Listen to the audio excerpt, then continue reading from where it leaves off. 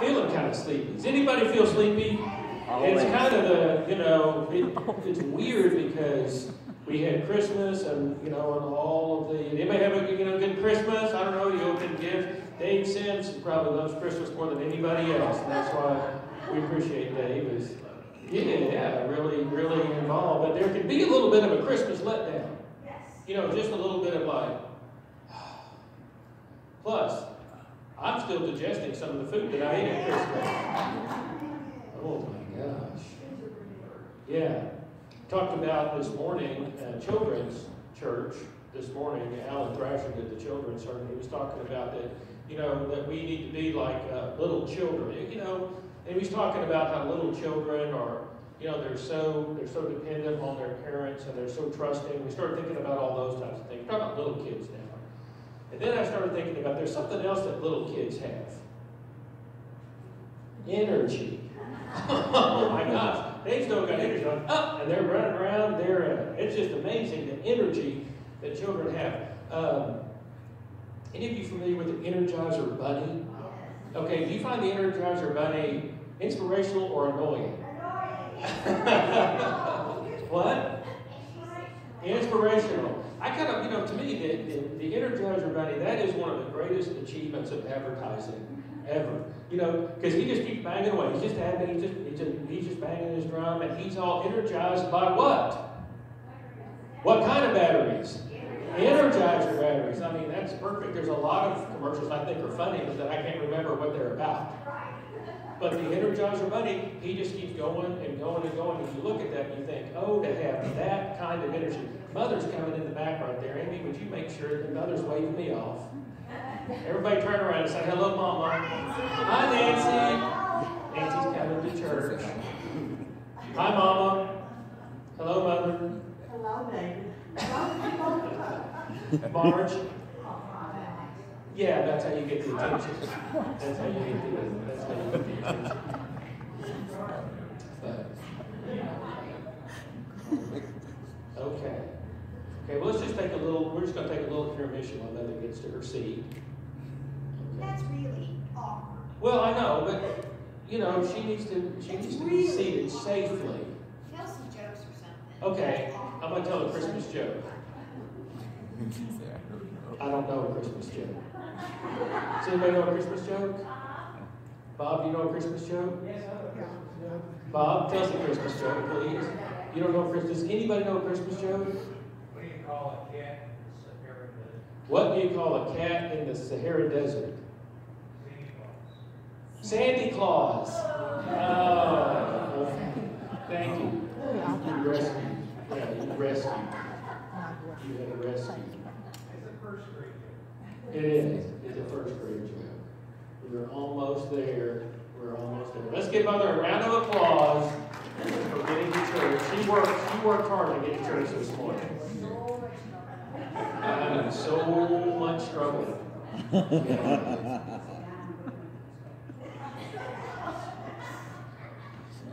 Okay. Yay! Good to see you, man. We were just talking about how energy, and sometimes we run a little bit low on energy, and it's hard to and it's hard to get going. And it just so happens that there is there is an energy source that uh, that humans often uh, often go towards, and it's not necessarily positive. It's the energy of ego. Okay, that's the energy of hey, look at me, look what I'm doing, thinking about myself, thinking about what other people think about me. Amy's got a friend who says, hey, let's not talk about you, let's not talk about me anymore. Let's talk about you. What do you think about me? you know, you know, just thinking about ourselves and oh, if somebody maybe has offended us or said something mean to us or something about like that, you know, just or, or does somebody like me or not like me? We can just start thinking about ourselves all the time. The ego can really get going, and that can give us kind of it's not necessarily positive energy, but it's it's the it's the energy of the of the kind of the ego driven life.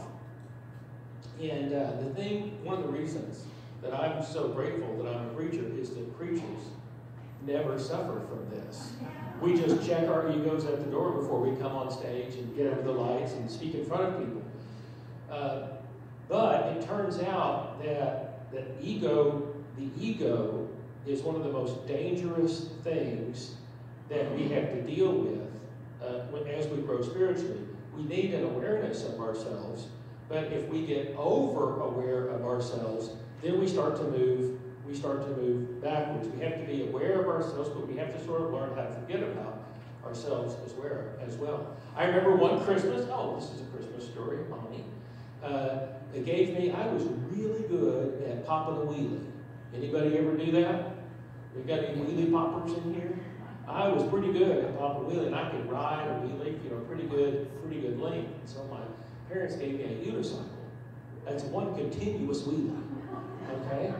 So I would I would ride the unicycle. We had at, at, our house on Tanglewood, we had a, a driveway, cement driveway, and then uh, there was a cement sidewalk that went around, and then we had a little cement walkway that went up to the house and then came back around. So it made a it made a place that I could I could ride. Well, I got to where I could ride my unicycle all the way to the end of the driveway. Wow. Yeah, but I tell you what, ten feet on a, on a unicycle, that's, once you get that, know, well then, I would get beyond the driveway and I would get to the sidewalk, and then I would fall off, because you know what I would think to myself? I've never ridden this far before. I'd become very self-aware, I've never gotten this far before, and I, I kind of fall off. Well, then I got to where I could ride there, and I would go around the corner, and I would go, get around the corner, and you know what I would do? I would fall off, because I never got around corner. I've never ridden the unicycle this far I, would just get really, I would get over self-aware. And as soon as that clicked in, as soon as I just stopped thinking, stopped enjoying riding the unicycle, but start, started thinking about how I was doing on the unicycle, that was usually when I would have problems and fall off of it. So there is a there's the problem of, of self-awareness. We start to do something good, then we become aware of it, and we start to fall. We start to fall in some way. Anybody ever read the uh, the uh, the novel Catcher in the Rye? You've ever read that? You know that's an interesting novel. It's it's one of the first kind of stream of consciousness novels. And you, if you read that novel, you get to spend some time in the head of a teenager named Holden Caulfield. And Holden is just figuring out life, and he's in the middle of a lot of teenage rebellion, and he's going through a lot of different, a lot, a lot of angst, a lot of different things. And he's very immature in some ways, but then every now and then, in the novel, Holden will just rip off something that's incredibly perceptive.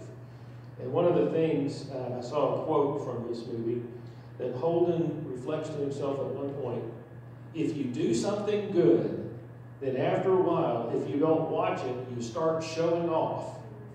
And then you're not as good.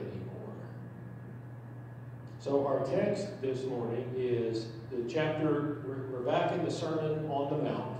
And we have been going through the Sermon on the Mount, and then during Christmas we backed up. So we're at Matthew uh, chapter 6.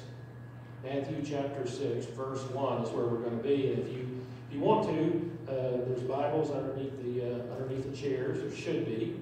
And uh, you can look that up, Matthew, uh, Matthew chapter 6.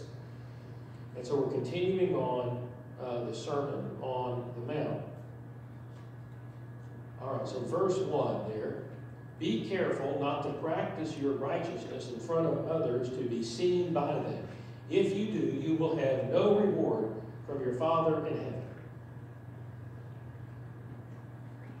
If you do, you will have no reward. So if you practice your righteousness just to be seen by others, how much reward will you have? Zero. None. Now, the, uh, the Greek word here, sometimes the Greek words, the, the New Testament was written um, in Greek, and sometimes the Greek words behind the English words are interesting. It says if you practice your righteousness, that Greek word for practice is the Greek word um,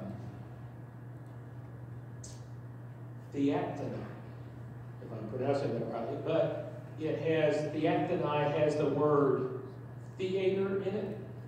So if you if you're a theater, if you're if you're practicing your righteousness, if you're theatering your righteousness so that other people will see you, then you will have already received your reward. because you were doing it so other people would see you, and so you did it, and other people saw you, so guess what? That's your reward. You already received your reward. One of the, uh, the early church fathers named Chrysostom uh, thought that this whole problem was the primary spiritual problem that people have. They start doing spiritual things and they make some improvement and then they start thinking to themselves, look how good I am. And then they start looking and they start wanting other people to notice how good they're being or how spiritual they're being. And in so doing, they begin to surrender the very benefit of the spirituality that they're trying to practice. So Chrysostom, this is an old problem, a long time ago, he wrote, So the Lord first shuts out all intention of seeking glory, as he knows that this is of all fleshly vices the most dangerous to man. The servants of the devil are tormented by all kinds of vices, but the desire of glory, it is the desire of glory that torment that torments the servants of the Lord. So as soon as you start trying to follow Jesus, one of the things that you're going to want is recognition from other people seeing you do these things and you're going to you're that's where you're going to want to get your energy is from other people telling you and observing to you uh, what a good job you're doing and then if you're not careful you'll just start performing for those people that's the that's the cycle that is being warned against verse 2 so when you give to the needy, do not announce it with trumpets as the hypocrites. And hypocrites, that was a word. Jesus actually changed the meaning of that word. In the ancient world, if I said you were a hypocrite, what would I be calling you? An actor. In that ancient world, that's what actor, a hypocrite was merely an actor of one, and they used to, uh, actors or hypocrites played multiple roles because they could, they would put a mask on and then they would they would do they could use different masks to play different roles in the same play. So a hypocrite was somebody who just put a mask on in a performance. But Jesus, when he said, "Don't be a hypocrite," that don't have a false spirituality. You're just acting out for other people. Now we now we associate a hypocrite as somebody who is who is putting on a false front. So so Jesus says, when you give the needy, do not announce it with trumpets, as the hypocrites do in the synagogues and on the streets to be honored by others. Truly, I tell you, they have received their reward in full. Why have they received their reward in full? Because they were doing it so other people would see them do it, so other people saw them do it, and guess what? Done. Wrapped up. Okay?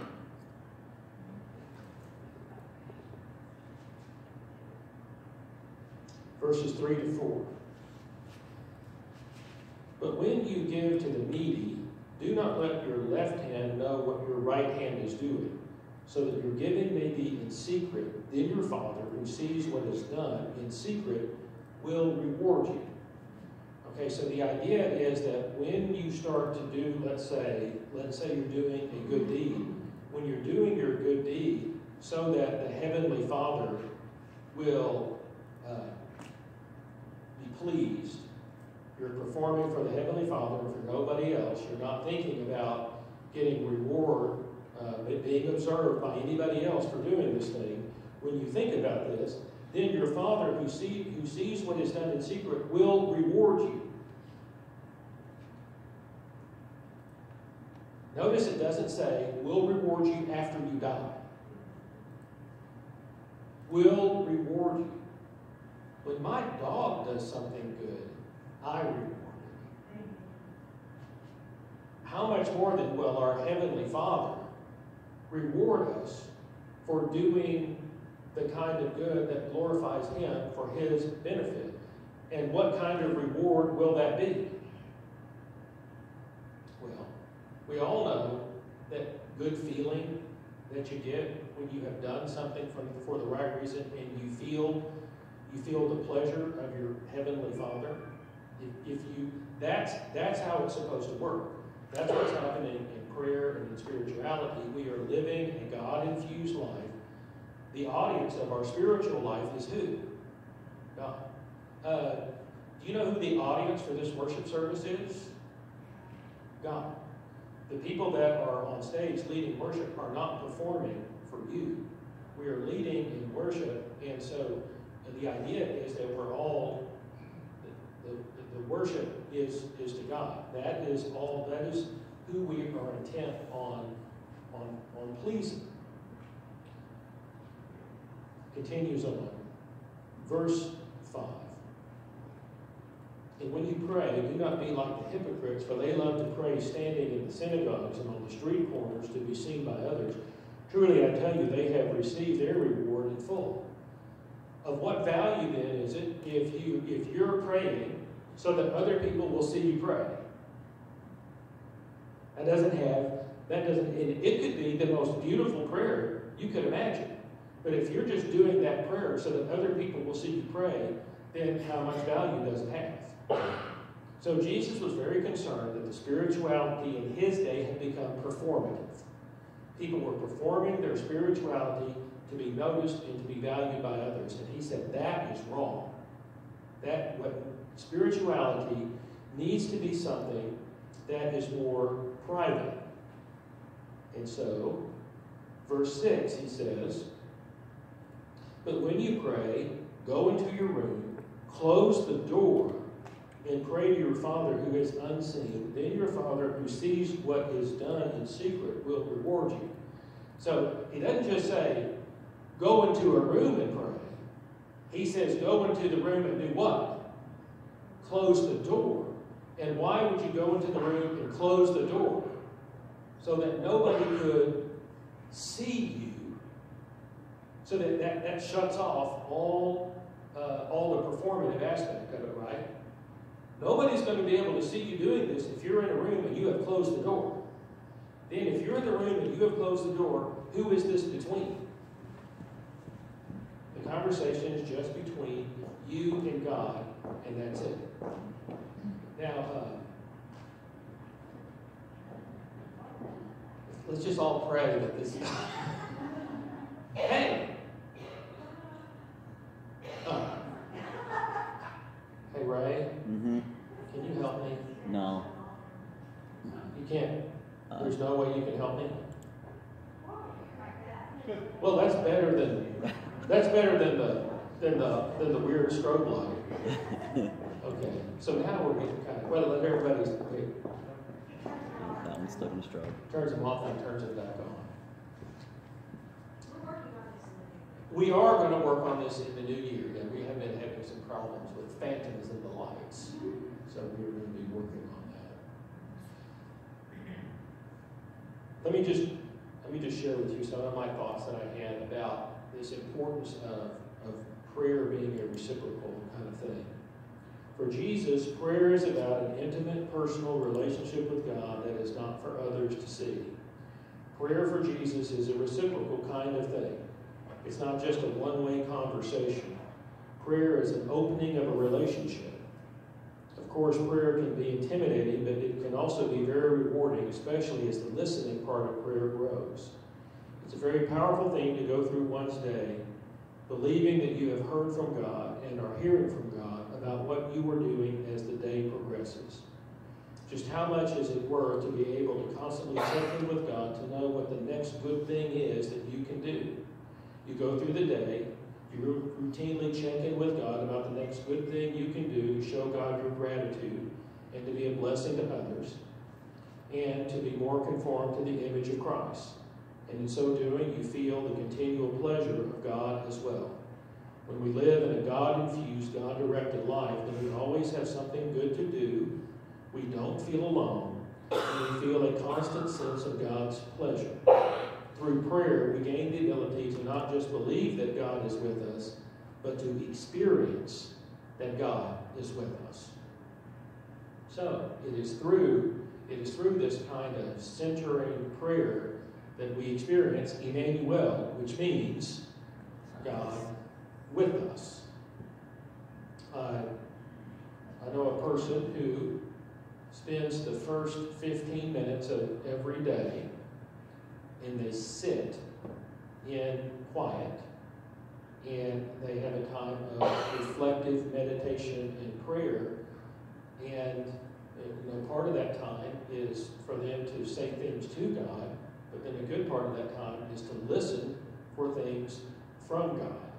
And then that sets their tone for the whole day. And then throughout the day, about every few hours, they, they do that again. Now, this person is a monk and lives in a community of people that are doing this. And so that would be easier, wouldn't it? Uh, but just because we're not in a community of monks doesn't mean that we don't need to find some way of drawing close to God and having that kind of uh, spirituality. I think worship is an important, important for us to come to worship on, on Sunday, but worship is really an expression of thanksgiving for the relationship that we've been having throughout the week. Now, Jesus, we can consider Jesus to be what's called a mystic, because a mystic is a person who lives in direct encounter with the divine. Okay, if I think that the only way that I can have any communication with the divine is by reading a book, something like that, then that's not mystical. A mystical, a person is mystical who they actually go into prayer and they actually believe that they are hearing from and receiving direction from God. Now, this can be overdone a little bit, uh, but if there's not some way in which we can at least be saying to ourselves, to the best of my understanding, to the best of my ability, I sense, God, that you are directing me to do this good thing. And I want to do this uh, out of thankfulness. I want to do it for your glory. And that's what I want to do. And when I'm done doing that thing, I'm going to stop again. And I'm going to have another time of reflection. And I'm going to receive some more direction from you. If you think about a person going through the day like that, just, and they're not doing it to show off to anybody else, if they're just going through every day like that, that's a pretty powerful, that's a pretty powerful way to live. Verse 7, verses 7 and 8, we're, we're getting, uh, well, this is a little more than you asked for. I was at Matthew 6. Ah, it changed. Thank you, Ray. Uh, 1 through 8, yeah. It says, So, and when you pray, do not keep on babbling like the pagans, for they think they will be heard because of their many words. Do not be like them, for your Father knows what you need before you ask Him. So, in other words, it's okay to just go ahead and ask for what you need to, to go ahead and do that part, but then you don't have to just keep going on and on and on and on and on and on. You can go ahead and stop, and then you can listen. And listening is listening is a little harder in a way. Because when you try to listen, the whole kind, all kinds of things will, will rush in to that silence. But if you if you'll just let it calm down for a while, then in your way you'll learn to have your own relationship with God, with your heavenly Father. And once that's established, and once you live in that, then you will be uh, living the God-infused kingdom of God life that Jesus came to teach us about and to tell us about. So what this does is it takes us then to uh, Matthew 6, 1 through 8 is the prelude to the, the Lord's Prayer. Okay, you remember we went through the Beatitudes? Blessed are the, those of hunger, you know, blessed are the poor. Blessed, all those, those Beatitudes that we went through. Remember how dense they were? The Lord's Prayer is kind of like that too. It's short, but there's a lot packed into it. So, for the beginning of 2019, what we'll be doing is we'll be studying the Lord's Prayer together at a very slow pace, just going through it and trying to get off, get 2019 started off in, in centering prayer for each of us so that we will have a good year. Let's pray. Heavenly Father, we want to get off to a good start in 2019. We may have become uh, distracted uh, from our prayer life. Uh, ironically, the holidays and Christmas can sometimes do that and just overwhelm us with so much to get done uh, that we kind of uh, can kind of lose our personal connection with you spiritually in the midst of all of it.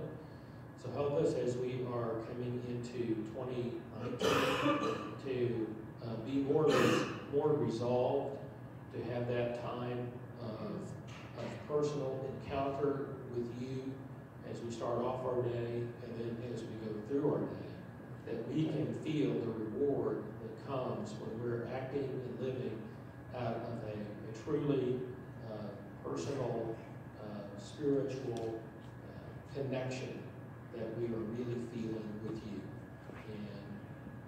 Make these prayers, Heavenly Father, in Jesus' name. Amen. Uh, we end our service uh, each Sunday with a closing circle. And uh, before, um, before, well, when we get into that closing circle, if there's anybody that would like to join this church, I'll just ask at that time. And just to let you know that anybody that joins this church, all we ask is, do you believe in God? Do you, do you accept Jesus as your Savior? And then beyond that, then you're just part of the fellowship, and we all just continue to grow together and to learn together. Each one of us is unique and different. Uh, no two of us is going to have exactly the same kind of spiritual relationship with God, but, but that's okay. We all have unique relationships with our own parents, and it's no different with God. And so now I'm going to ask, uh, we're going to move into our communion time and ask our elder to